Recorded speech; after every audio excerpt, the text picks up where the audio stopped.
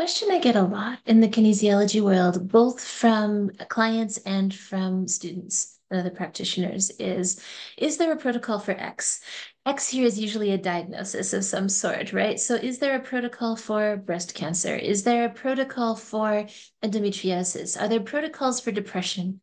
Whatever uh, symptoms or diagnosis someone has been given, they want to know is there a specific way of working with this issue? And so that's what I wanted to address today. Some modalities definitely do have more protocols for working with specific kinds of ailments, specific viruses, um, specific conditions within the body. The modalities that I personally work with the most are SIPS, which stands for Stress Indicator Point System. This is the work of Ian Stubbings in Australia, and GEMS, which is Goal Element Mode Stack, uh, which is my own work. And both of these modalities are I don't want to say we don't care about your diagnosis, but it's not the primary focus. And what I mean by that is that when someone comes to see me and we're doing muscle testing and energetic kinesiology work, I'm not going, is there a protocol to solve for X? What I'm looking at is where is the stress in your body that has allowed this condition to exist? And this condition can be pain, it can be a virus, it can be a feeling of stuckness in your life or your energy, it can be stress in your relationships, like whatever, whatever it is.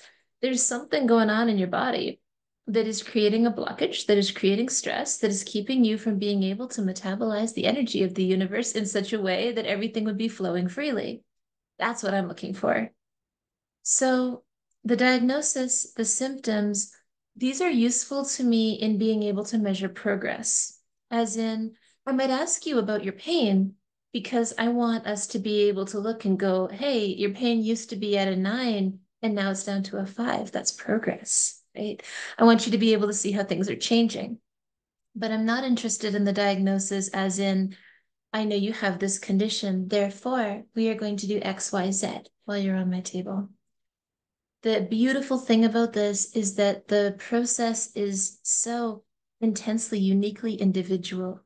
Every person is different. The stress in your body that is creating a certain set of symptoms or a certain pattern is different than anyone else. So even if you all have the same diagnosis, you've got the same virus, whatever it is, you know that what got you here is different. And therefore, we're going to treat each person as an individual.